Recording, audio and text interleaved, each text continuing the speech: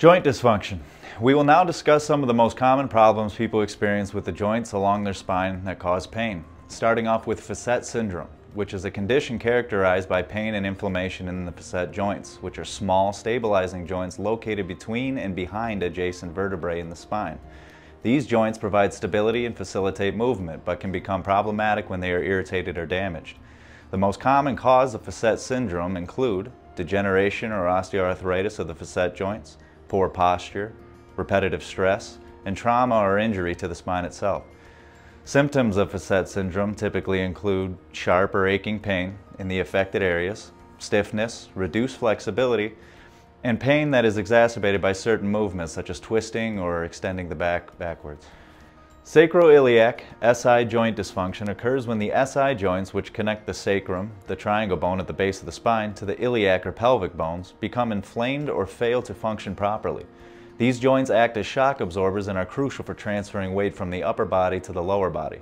Dysfunction in these joints can result from a variety of causes, including uneven leg lengths, pregnancy due to hormone changes and added weight, injuries from falls or accidents, and degenerative conditions like arthritis. Common symptoms include sharp or dull pain in the lower back or buttocks, pain that radiates down the legs, stiffness, and difficulty standing or sitting for prolonged periods. Tight muscles and spinal pain. Tight muscles can significantly contribute to spinal pain by creating imbalances and increasing tension around the spine, leading to restricted movement and discomfort. When muscles are overly tight, they can pull on the spine and surrounding structures, disrupting the alignment and causing pain in the affected areas. This tension may compress nerves or restrict blood flow, resulting in symptoms like stiffness, soreness, and radiating pain. Common causes of muscle tightness include poor posture, overuse or repetitive strain, stress, dehydration, and lack of flexibility. Prolonged sitting or standing, particularly with poor ergonomics, can also lead to muscle imbalance and tightness.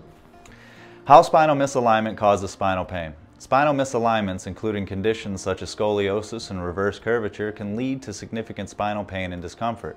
When the spine deviates from its natural alignment, the distribution of weight and pressure across the vertebrae and surrounding muscles becomes uneven.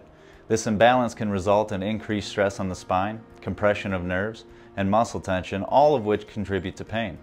Scoliosis, characterized by a lateral curvature of the spine, and reverse curvature such as kyphosis or lordosis can also lead to reduced mobility, stiffness, and other complications affecting the overall health and function of the spine.